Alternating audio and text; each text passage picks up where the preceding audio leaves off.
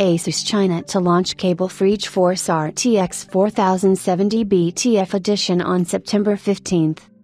TPU staffers had a close-up look at cable-free graphics cards during proceedings at Computex 2023, where Asus was showing off early examples of graphics cards without an external power connector. This new connection standard is called GC underscore HPWR. Said proprietary connector has been spotted once again, this time on finalized hardware. Asus appears to be readying Back to the Future, BTF edition product lines for launch in China.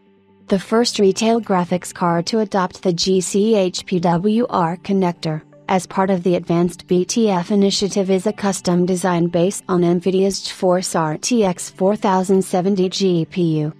The Asus GeForce RTX 4070 ATS BTF 12GB edition card is set for a local release on September 15.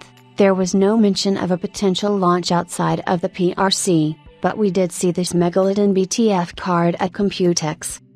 Asus is indicating that it will be updating its China market exclusive White TX series of GeForce cards with a new connector. Marketing imagery has appeared online with a coming soon message for RTX 4060, 4060T, and 4070 models. A TF series refresh is apparently in the cards. VideoCardz believes that these models will have a better chance of reaching global markets the TUF Gaming B760M BTF Wi-Fi Micro ATX motherboard, with all connectors positioned on the backside of the board is now visible on an ASUS hidden connector design mini site, sat next to a compatible A21 case. A TUF Gaming Z790 concept board is teased in the advanced tier with a matching GT502 concept case.